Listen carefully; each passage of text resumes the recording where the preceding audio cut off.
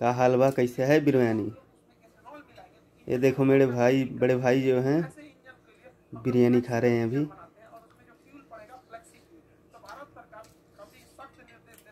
कुछ बोलबा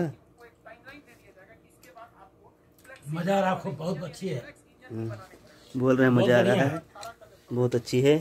इसमें एक भी पीस नहीं सब पीस खा गए। खाने में बहुत मज़ा आया। थोड़ा तीखा है, लेकिन मज़ेदार है।